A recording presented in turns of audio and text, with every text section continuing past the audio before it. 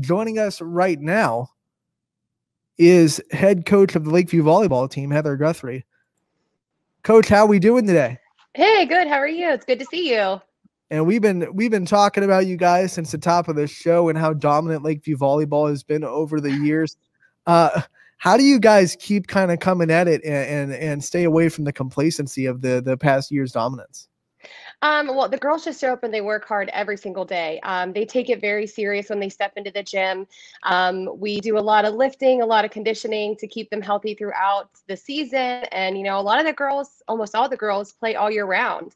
Um, a lot of them play at Infinity and they play at Thunder. So props to those clubs for keeping these girls in shape and keeping them loving the game of volleyball. And we've been talking to a couple of volleyball coaches already this year and the importance of club volleyball and how it's making the area volleyball grow a little bit. You know, in the years past, we've seen our teams win a district and then just hit teams and regionals that are just flat out better than them because the the volleyball in Canton and Massillon just seems to be at a different level. But we're seeing club volleyball in the area kind of change that and, and make the, the volleyball grow in the area a little bit. Mm-hmm. I agree. Yeah, I mean, again, I think it's just the love of the sport that the girls have to have when they when they want to come, and you know, them showing up and working hard and winning makes it a lot easier to keep coming back every game, every day, every practice. So yeah. you guys return a lot. You never want to diminish the impact of senior leadership, but you only lose two seniors, I believe, from last year's team, and you're yeah. returning so many uh, important key members of that team from last year. What are some of the prospects this year of, of Lakeview volleyball? Um, well, yeah, we lost two seniors last year, um, Anna Peterson and Mara Krish, and you know we're gonna miss them very much. Um, they've come to a couple open gyms just to say hi to the girls and play and say hi to us. So it's always nice to have them come back. Um, but we have a lot of girls returning this year again. Um, we have Carly Hahn, our senior, coming back as a right side uh, player. Our setter, Maggie Pavliansky, is coming back again. Um, Tara Lytle's coming back. Emma Schmader, Brooke Schneider, Maddie Bayes. I know I'm forgetting somebody. Sydney Peterson, Erica Geezy. And then we have a huge freshman class coming in. And, you know, um, YSU, when we went to YSU and played at YSU, we threw a ton of the freshmen in um, on the varsity games. So we have a bunch of freshmen coming back uh, or coming in. Um, we have Reagan Price, who's a great great uh, hitter. Um, she's a big blocker, big, big, heavy arm. So, um, then we have Mallory My- Mylock. Um, she is a setter. She's going to be helping us out. Mara Schmader is going to be helping us out um, as a setter as well. And we have a ton of outside hitters and defensive specialists that are that are freshmen that are going to be helping us out as well. Blessed with some riches. I mean, you talk about the freshman class that you guys have, and then all the people that you have returning. You can only put six people on the court at once. Mm-hmm. Uh, that's probably got to be kind of devastating because you have you know multiple people that could probably just go out there and and compete at the varsity level. Um, you, what are some goals this season for Lakeview volleyball to keep improving? I mean, it's hard to imagine for for the people that play you every year to say Lakeview volleyball could get better. But what kind of things do you think that you watched from last year and you had discussions with your staff that we can get better at this and and we have to really up our game in this in this point of the game to to maybe make a, a deeper tournament run? Um, well, I know this year we really wanted to focus on ball control. Um, that's still something we work on every day. And, you know, we get better every single game by playing the teams that we play. Um, our conference this year is going to be really competitive. I think it's going to be the most competitive that it's been for a while, which is great. Um, we're excited to play those big teams this year again. Um, but I'm adding Nate Mylock to my staff this year. I have Lenny Lytle coming back as well, and she's great with the offensive uh, play. She loves working with our setters and our hitters.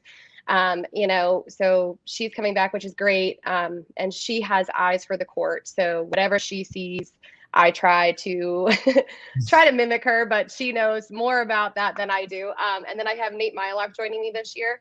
Um, and he brings a lot of inspirational um, motivation to the girls. He helps, he gives them healthy competition.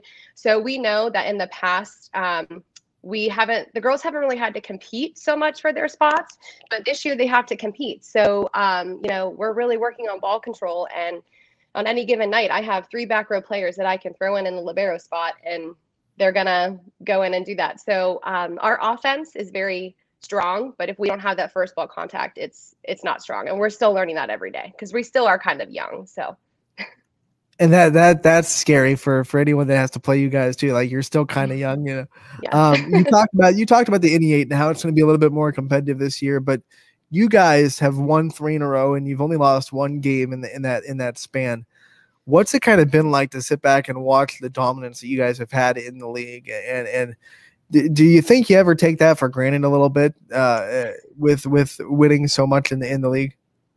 Um, I don't know if I would say we take it for granted um, because the girls know on every night we have a target on our back, no matter if we're playing an NE8 game or you know a district semi or an out of conference game we have a target on our back. And the girls know that every night we have to show up and perform to the best of our abilities. Um, like i said we are young so we do have to work more on our mental state. And it, at any given day you can be the most talented team. And if you don't have energy and mental fo- focus you're not going to come out on top and we we experienced that last year when we did lose one one game and that's still you know burns me very badly, but we we didn't show up, and that's that. I think they learned that. Now, what you know, you never want to lose a game, but did it take a little bit of pressure off? You know, the streak is gone, and you don't have to worry about that. Talking about that every night, you know, I felt like every player profile we were talking about the long streak, and now all of a sudden, you know, you can you can kind of relax a little bit, and and that pressure gets off your shoulder a little bit. Uh, yes and no. Um, I think the girls like the pressure because I think it makes them work harder. Um, but I do know, you know, we were expected to play perfect every single game. I didn't expect them to play perfect every single game, but I felt like other coaches and teams expected us to play perfect every single game, every single point. And, you know, I think again, it made them realize that we are human. We we cannot show up one night and not come out on top. And we did experience that last year, but I think I just put it more into perspective for them that, you know, again, they have to show up every single night. They can't take days off, plays off, points off. They can't do that. One of the overarching themes last year, talking to your girls, was the home court advantage that you guys have, especially early in the season when it gets really hot in that gym. Talk about that and then talk about summers in that gym and what it's like oh. to build conditioning in that gym you got and really what kind of home court advantage it really is. Yeah, um, so we have been experiencing that a lot this summer. um, our gym, even last night at our open gym, um, we were sweat. The girls were sweating. I was sweating. I mean, it was bad. But I think again, it makes it makes us tougher because again, when we go into air conditioning, we're like, oh my gosh, it feels so wonderful in here. But um, I think it does prepare us for to play in the worst conditions because you know any team coming into our gym, I always say, I'm so sorry, it's so hot in here. You guys need ice, you need towels, mop, whatever. Please just let me know because we get it. How many times do you see like really teams?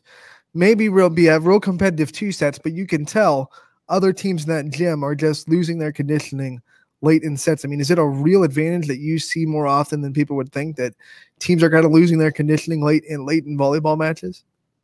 Um, probably yeah. Um, it, I mean, I think it does definitely help us because we know what it's like to practice in that gym for two, two and a half hours.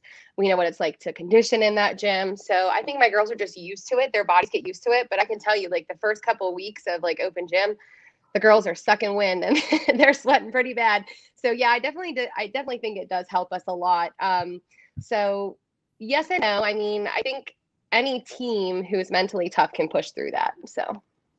Now, one of the things you missed last year was the community outreach and the community support of Lakeview Volleyball. I know mm-hmm. how proud Lakeview is of your program and now you get to have gyms full of fans again. What's that going to be like to to see the support of the community firsthand and be able to kind of feed off the energy of crowds? Um, well, let's hope that we get it. You know, because the numbers are rising again. So, mm. good lord, let's hope. Knock on wood. I'm not for you. Yeah, thanks. um, no, I mean it was definitely really different. Even like last year in preseason when we had to do two cohorts of girls, um, that was very different. Um, it was so weird, and you know, not having all the fans in there, it is hard. And, you know, we did have a lot of fans follow us through social media, especially on your platform. So thank you for that. Um, but they definitely, um, the girls are definitely excited to have people come back in again. It was really sad that we had to limit tickets last year and grandparents couldn't come to one game that the parents could come to. And, you know, they couldn't have the student section. So, you know, we're really hoping this year that it comes back because everybody thrives in that experience um, with the audience and things like that. Like even I was watching um, an interview with Matt Anderson, the on the men's uh, USA team, and he said it's such a weird experience to be here without fans and family, but we still have to perform. So, and that was our message to the girls last year. No matter where you are, what time of day it is, who's there, you have to perform. So, we hope they get to come back.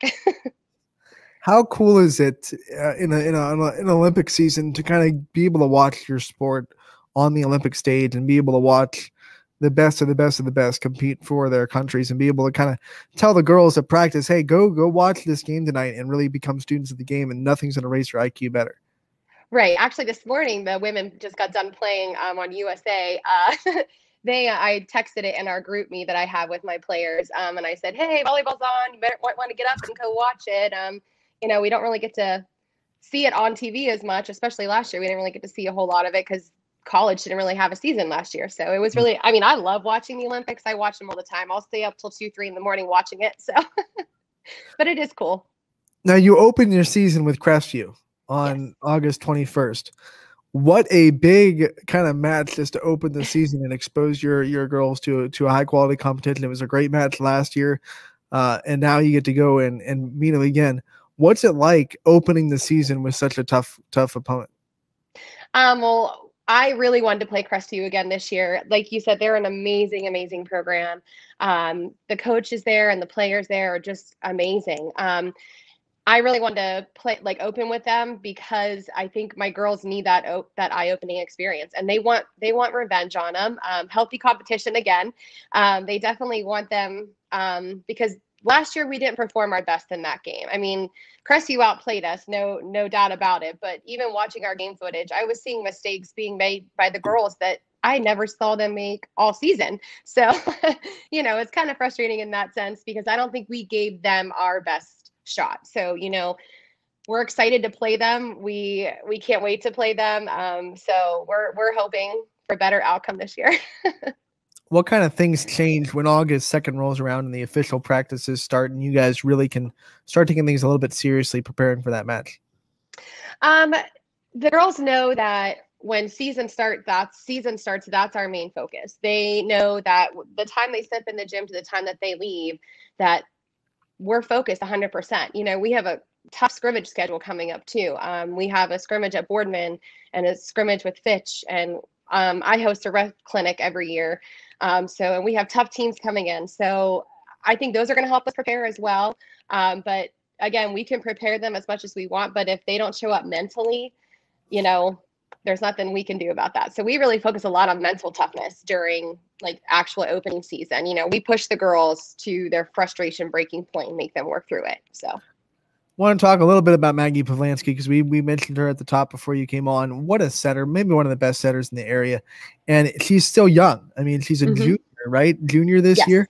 Yep. Uh, what's it like having such a great talent and knowing that you have her for another two seasons as well? Maggie is a workhorse. She she just she embraces the team leadership role. She is like the mother hen of the group. she really um, makes sure the girls are taken care of. She keeps them in line. Um, Maggie just shows up every day and works and works and works. And you know, again, starting having her start as a freshman setter and taking on that leadership role under Lexi Inman, and then you know, learning from her sister Annie and having Lainey there. I think that they've helped coach her in that role. Um, and you know, she runs a great offense. Uh, she's gone to a bunch of setter camps this summer to get better.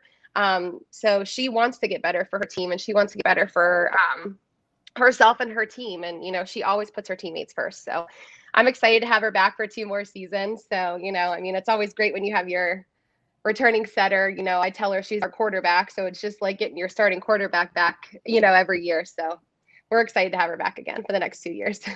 I don't want to bring up dark dark memories, but Notre Dame Cathedral Latin is always looming for you guys in the tournament, and I know it's one of those things that you just kind of what what steps do you think you guys have to take to start to maybe knock that monkey off your back a little bit? I know that would make you the happiest person in the world to, to be able to compete with them and then knock them off to to get that monkey off your back.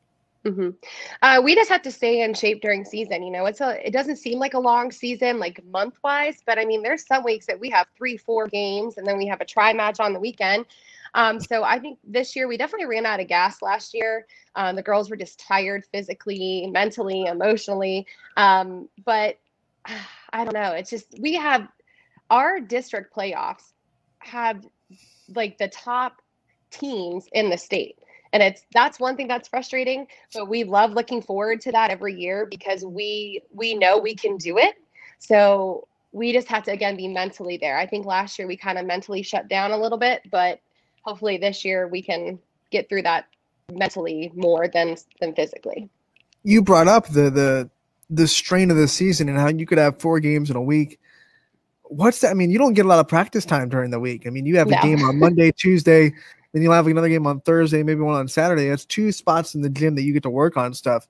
How mm-hmm. important is it for volleyball players to really be able to kind of coach themselves and make their own corrections from one night to another when they don't get a practice in between games?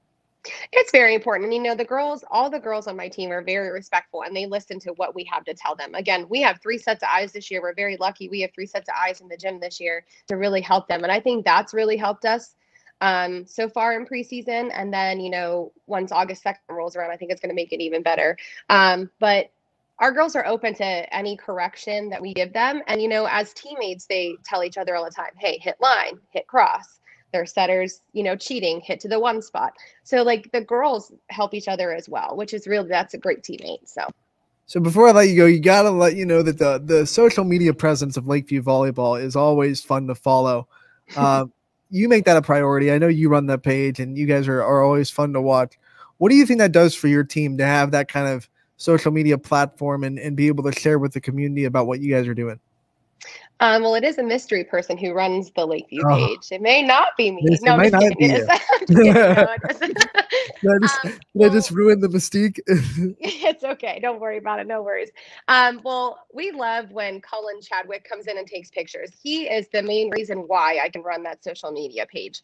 And props to him because he makes it out to every single Lakeview sport, whether it's a middle school game or a freshman football game. He makes it out to every sport. Um, so he really helped me run that social media page. But the girls love it because they get to see how excited they look. And, you know, even as a coach, I can use it as a coaching tool because I can say, hey, look, in this picture, you know, your platform was not down, pointed to the target. You jumped way too early. You weren't pressing on your block. So it actually helps me as well. But yeah, I like I like keeping the girls on their toes and like saying fun things to them. And, you know, I think it just makes it for like a team bonding experience. And I think it's fun because social media is so present now today. So, you know, and even your platform that you use, it was great. The girls loved it. They were so excited when they got to do interviews with you. And, you know, our community was so excited that we had so many girls go on and do it. So, I mean, that's always fun for them. So, saw an ominous note on that on that Instagram page that said, "You have been warned."